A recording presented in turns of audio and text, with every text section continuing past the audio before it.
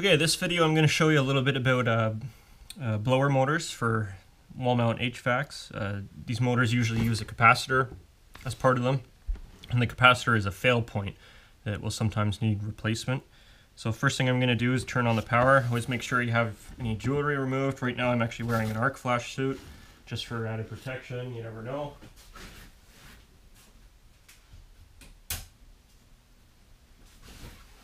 Okay, we got 240 volts power on. Um, this is the test setup I had uh, from a previous video. It's just a, an HVAC contactor hooked up to a toggle switch so I can turn it on and off. And then the, the motor is wired up to the uh, contactor and the leads here to the capacitor are just coming off from internally in the motor. I'll put this on volts AC and we'll just confirm that we have 240 volts power coming into the system. Looks like we got 244 so that's perfect. Put some gloves on here because I'm going to be working with the fan just to slow it down a bit once we turn it on. And I'll show you something. So, first of all, let's confirm that this motor works. We've got the capacitor in the circuit. We've got power. If I flip the switch, the motor's going to start. And you can see it started there in a clockwise rotation. Um, so now what I'm going to show you is uh, what happens sometimes is that these capacitors fail and when these capacitors fail, the, uh, the motor isn't able to start spinning. Uh, the capacitor provides kind of like a little bit of extra torque boost in the beginning, and that's what would get it kind of rotating. So if you remove the capacitor, or let's say it failed in open condition right now, so you can see I've got it removed from the circuit, uh, you'll usually find a motor that hums pretty bad. So if you come to an HVAC unit, and the blower motor is like really buzzing loud and it's not spinning, that's a kind of a telltale sign that it's your capacitor or it could also be the internal windings of the motor itself, but I would start by troubleshooting the capacitor. So let's turn this on. Okay, it's on. You can see that the motor's not spinning at all. And the interesting thing about these motors is that when the capacitor um, fails open, you can actually uh, get these motors started just by giving them a flick with your hand. So I'll turn it back on. And then if you see here, just give it an ever so slightly turn. There we go. And it'll slowly ramp up to speed. Okay, just turn that off again. And the other interesting thing about these motors is that um, the capacitor and the way the internal windings are, what kind of determine the direction of the motor. And when the capacitor is out like this, if I turn it on, if I flick it the opposite direction, I can actually get the motor to spin backwards. That's kind of neat with these motors. You can get them spinning either direction. So I'll put the capacitor back in the circuit here. Put these quick connect leads back on the, the ends. Okay, capacitor's back in the circuit. Let's just test. Yep, we're good. Now what I'm going to do is uh, I'm going to remove the capacitor when the motor is turned on and spinning. And one thing you can sometimes find is that uh, for locations where the the blower motor has been set to always be on, regardless if the the compressor's turning off, on and off, or the heater's turning on and off. If the if the blower motor is on 24/7, and the capacitor fails while it's on, um, in theory, it, the failed capacitor could go undetected because what's going to happen is the motor is going to keep spinning. And it's not going to stop until the next time someone actually turns off that HVAC unit or you have a power fail uh, at the location. And then when the power is restored, the blower is not going to start turning. So I'll show you this. So turn the motor on. Okay. I'm going to remove the capacitor. Okay, I just pulled the capacitor from the circuit and you can see that the motor's still spinning, right? So now let's simulate, say uh, you have an AC power fail. Okay, the AC power fail uh, just happened at your location where this HVAC unit is and your HVAC shutting down. Um, just stop this here. And then let's say AC power is now restored. You've, the, the hydro company has fixed the, the power to the site. Your motor's not working. So you can see why a capacitor could sometimes go undetected um, if uh, it fails in the circuit. Uh, so now the next question is uh, testing a capacitor. Um, this capacitor is 5 microfarads.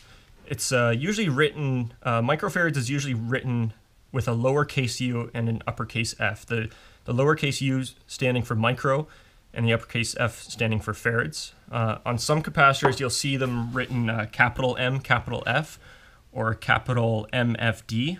Um, it's kind of misleading because typically a capital M stands for the short of uh, mega, so like uh, megafarads, uh, but it's not. It's actually microfarads in these instances.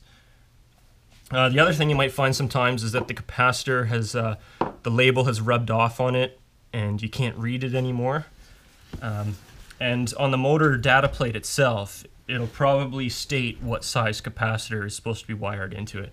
In this case, the data label also says it's a 5 microfarad capacitor. And what we can do to test these 5 microfarads is you're going to put your multimeter on capacitance. Okay.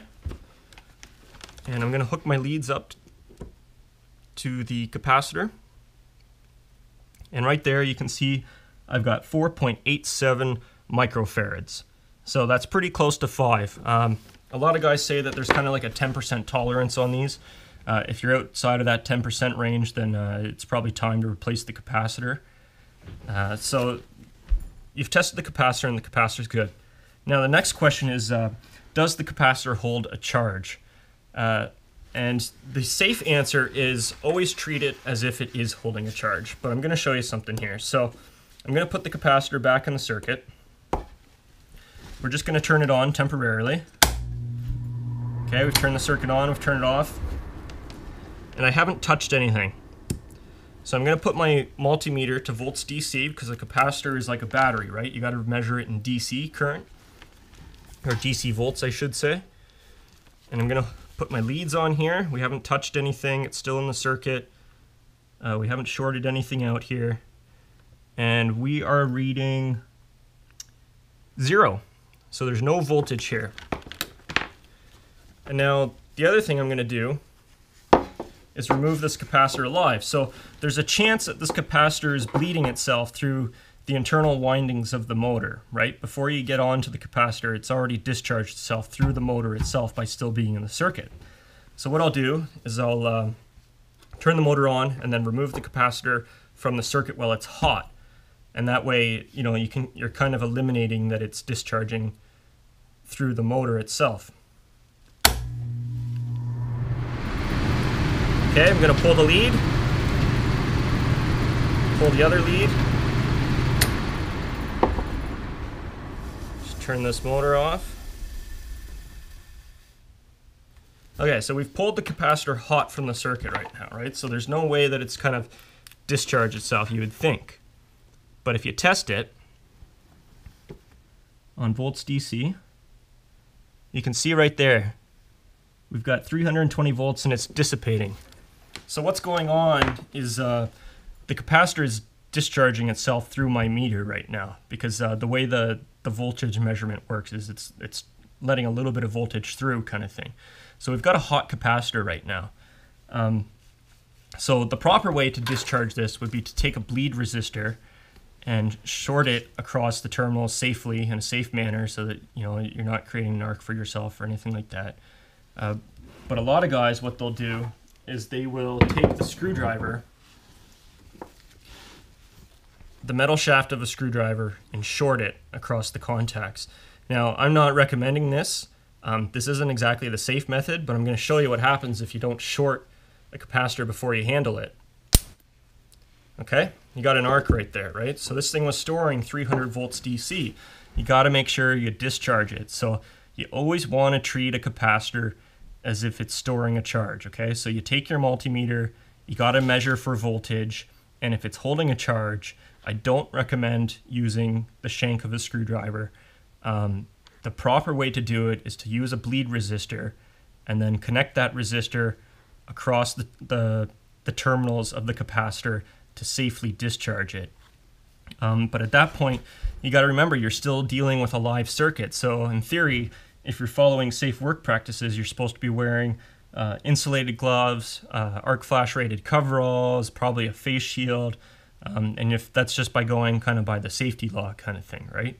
A lot of guys out there probably won't do it because they're in a rush to do what they got to do.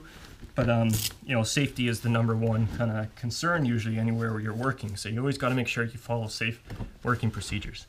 And uh, that's the end of the video. So thanks.